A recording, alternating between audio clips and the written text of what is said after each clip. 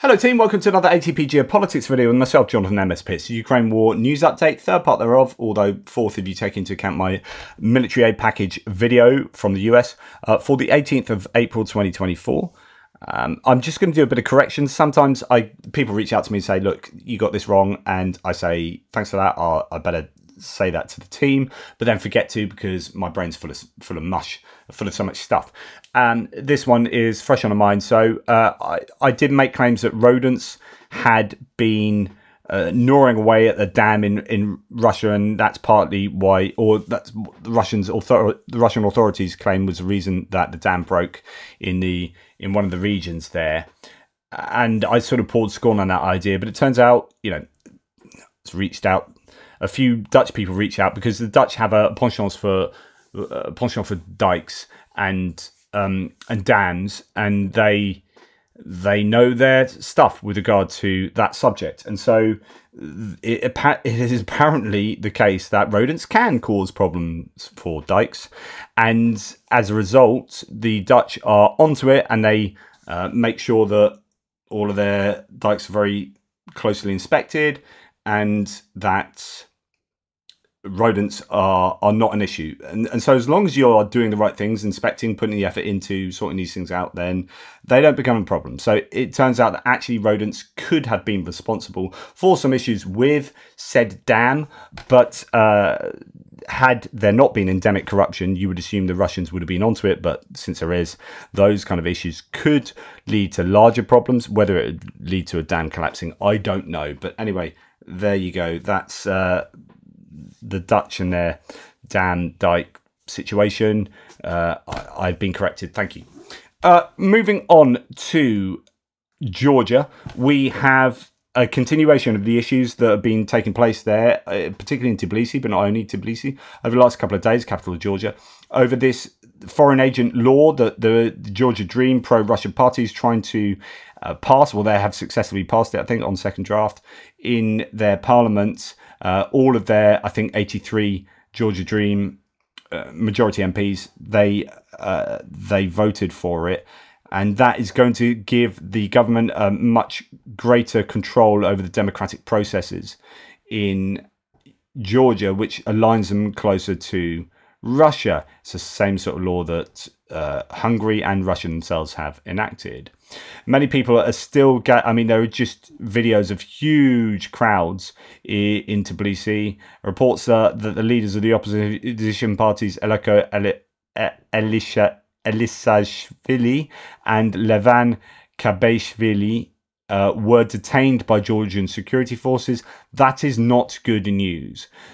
I, and I, I really hope this can be sorted out. Uh, but what we don't want is a country you know, going down the, path of just huge violence and massive um, protests that, that end up in the security services cracking down on essentially on democracy. I mean, this was Tbilisi last night. Glory to Ukraine, glory to Georgia, F Russia uh, were, I think, the general thoughts. Always interesting to see the flags, EU flags, uh, even a US flag there, Georgian flags and whatnot. Um, this is, again, these are sites from Tbilisi. Huge crowds, which I think is good news for democracy Let's hope that that is widespread throughout Georgia and not just in Tbilisi. There were scenes from elsewhere. This is Batumi, uh, where there was a march against the law, uh, the draft law on foreign agents. At the head of the column, participants carry a huge flag of the European Union. Uh, just hope that that, that resolves itself uh, in a pro-democratic way.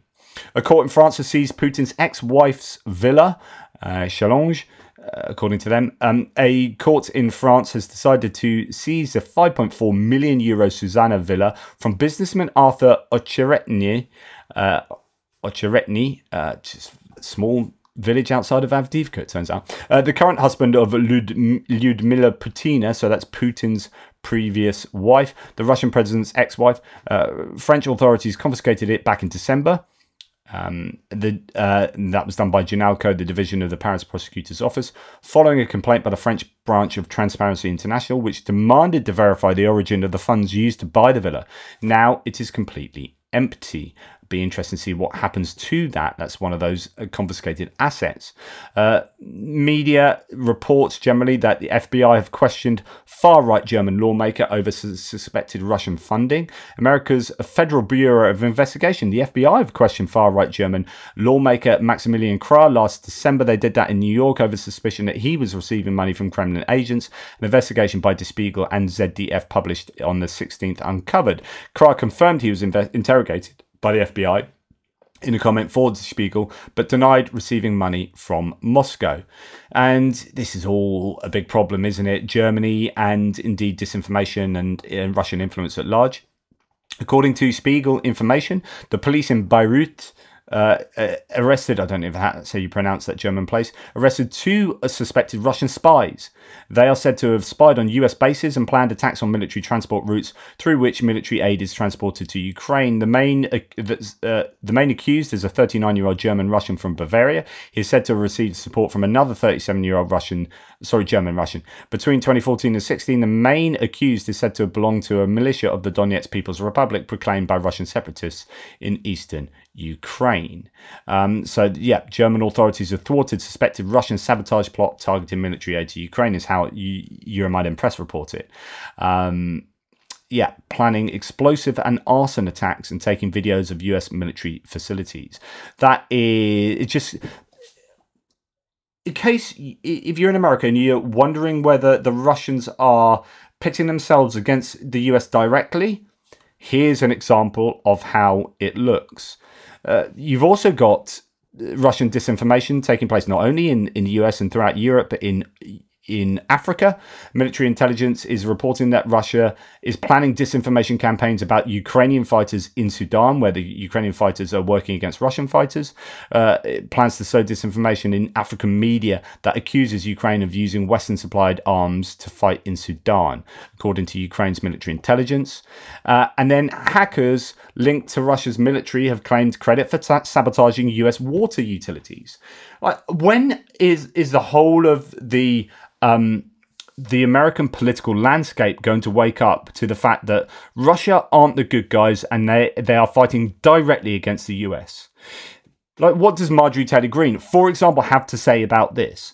So let's have a look at this. Russia's, this is from Wired, Russia's military intelligence unit known, known as Sandworm, these guys are very well known in the hacking world, has for the past decade served as the Kremlin's most aggressive cyber attack force, triggering blackouts in Ukraine and releasing self spreading destructive code in incidents that remain some of the most disruptive hacking events in history. In recent months, however, one group of hackers linked to Sandworm has attempted a kind of digital mayhem that, in some respects, goes even beyond its predecessor. They've claimed responsibility for directly targeting the digital systems of water utilities in the United States and Poland, as well as a water mill in France, flipping switches and changing software settings in an apparent effort to sabotage those countries' critical infrastructure.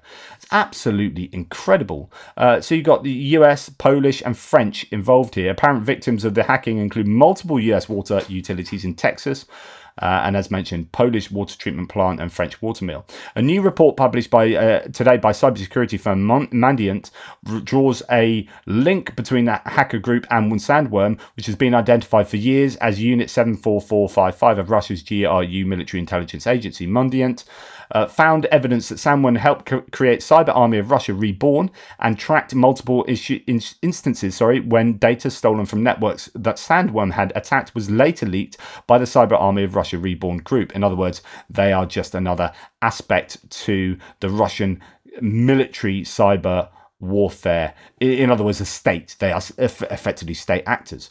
Uh, what you get often in, in cyber warfare is plausible deniability, where you, you do things by actors that can nefariously, maybe tenuously be linked to, to, say, the Russian state or any state itself, but you can also deny it uh, and and it's they live in this grey area.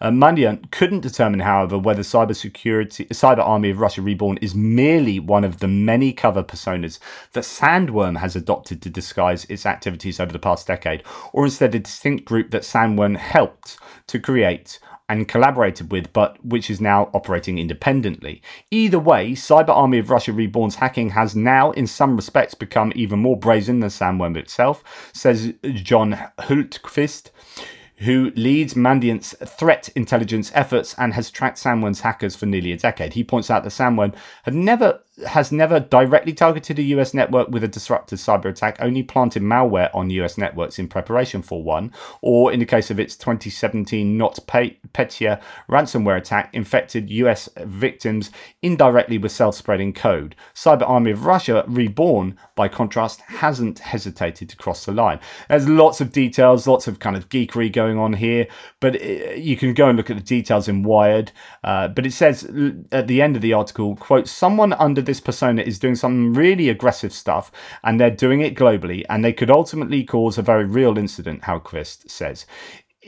Quote, if this is just some random group of hacktivists who lack the structure and restraint of, the, of a military organization, they may cross lines in ways that no one anticipates. anticipates. So you know this could be really bad, and again, it's trying trying to work out whether they definitely are the Russian state. Of course, they're the Russian state, but it's about having uh, like, irrefutable proof that that's the case. Um, yeah, the, as I say, go and check the original out. There's lots more detail in there about how effectively the US has been attacked by Russian um, state-connected uh, cyber warfare entities. Then you get this in the Washington Post. Secret Russian foreign policy document urges action to weaken the US. So, Russia's foreign ministry has uh, been drawing up plans to try to weaken its Western adversaries, including the United States, and leverage the Ukraine war for to forge a global order free from what it sees as American dominance, according to the, a secret foreign ministry document. In a classified addendum to Russia's official and public foreign policy concept of the Russian Federation, the ministry calls for an quote offensive information campaign and other measures spanning quote the military, political, economic, and trade and informational psychological spheres against a quote coalition of unfriendly countries led by the United States. Uh, we need to continue adjusting our approach to relations with unfriendly states states the 2023 document, which was provided to the Washington Post by European intelligence service. It's important to create a mechanism for finding the vulnerable points of their external and internal policies with the aim of developing practical steps to weaken Russia's opponents. So this is a document I talked about the other day that the Washington Post has has um, in their possession, and it's just another example of how Russia have pitted themselves against the US in a very explicit manner, and that they are indeed attempting to undermine US elections uh, and democratic uh, processes with disinformation.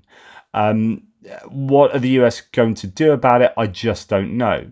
Um, Western officials, it says later, have warned that Russia has been escalating its propaganda and influence campaigns over the past two years, and it seeks to undermine support for Ukraine. As part of that, it is sought to create a new global divide, with Russian propaganda efforts against the West resonating in many countries in the Middle East, Africa, Latin America, and Asia, and indeed in, in Europe and pretty much everywhere.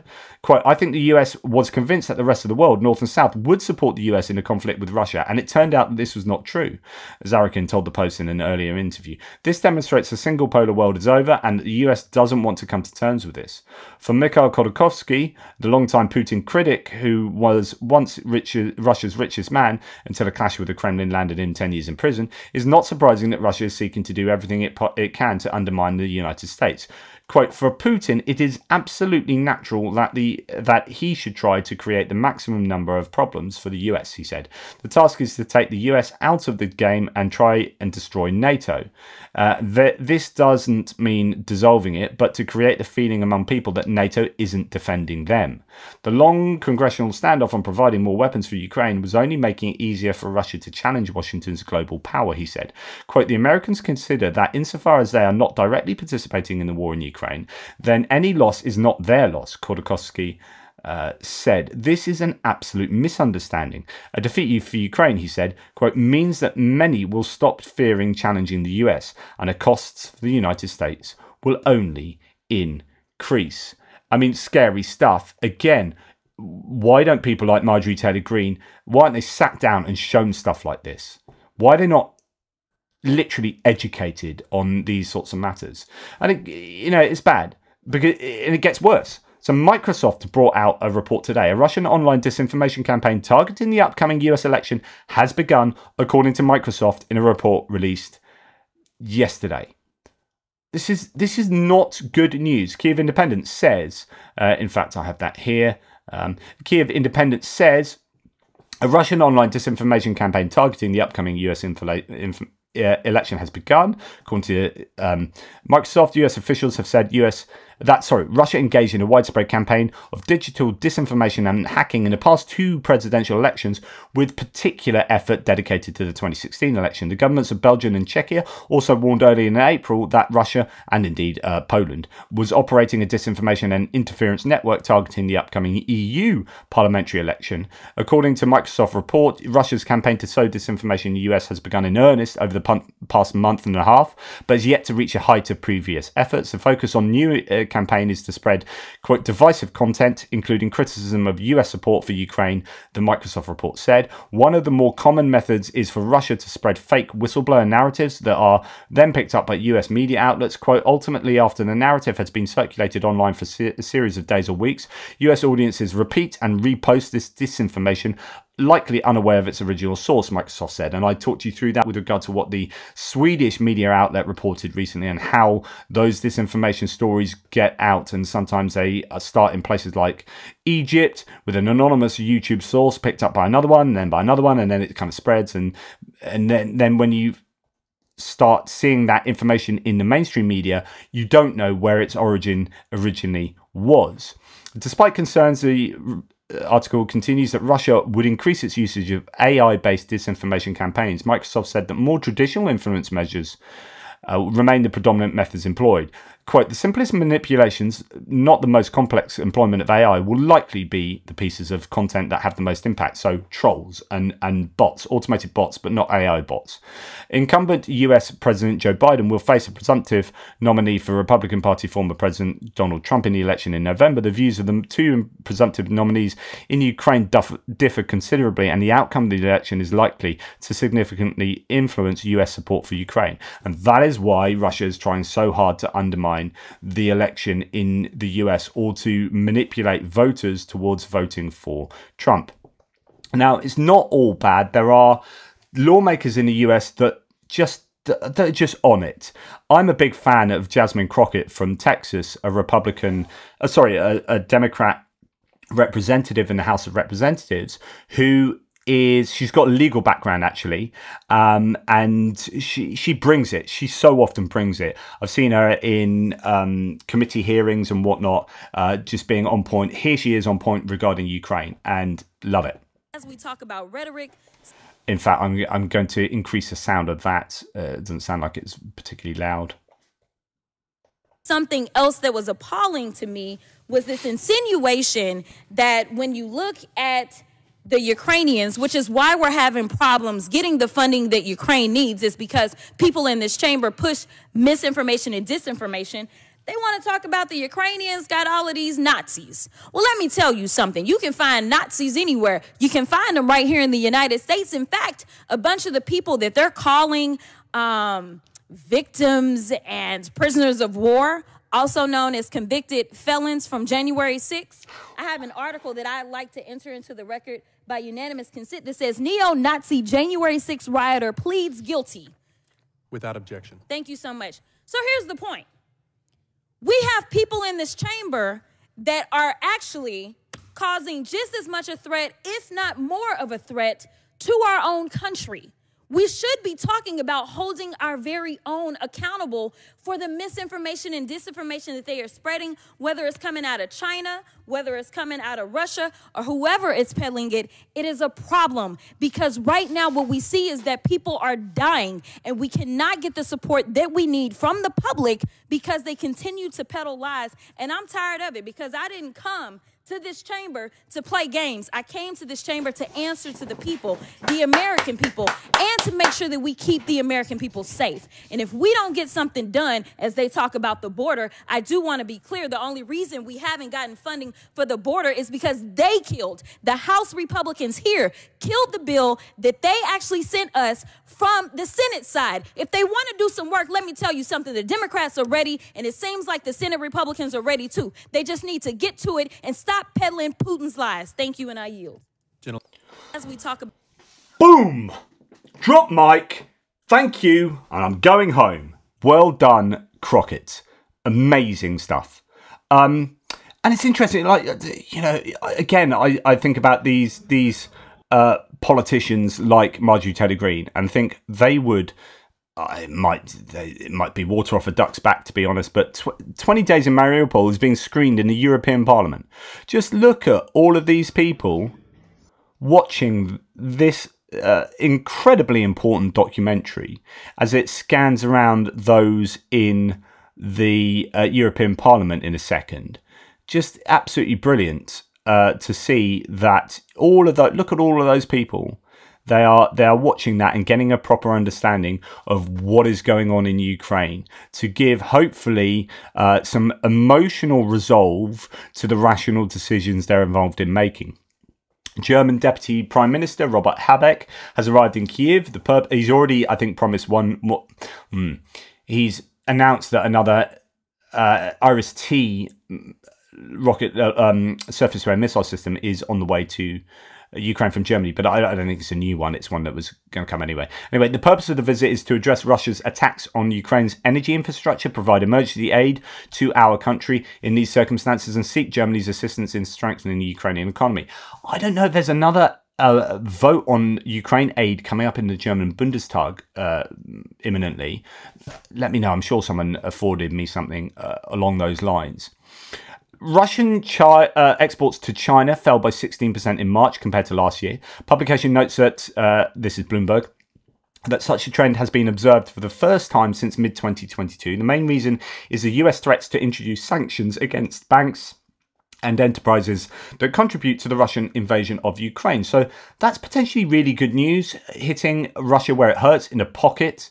Uh, exports down to China. We know that China are providing an awful lot of stuff to Ukraine. Or exports of Russian diesel have fallen by 25% to, due to attacks on refineries, according to Bloomberg as well. So, with the country's oil refining rate recently falling to an 11 month low, there is a possibility that it will have to divert crude that its refineries cannot process to the export market.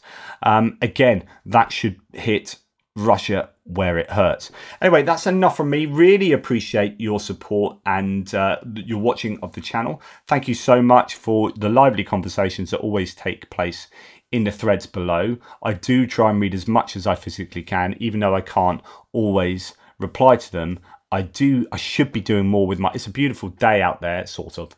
Um, the sun is vaguely out. I should be outside getting some vitamin, vitamin D, and uh, I'm inside talking to you. So I'm going to take a break, have a cup of tea, and probably get back to you a little bit later. Take care. Speak soon.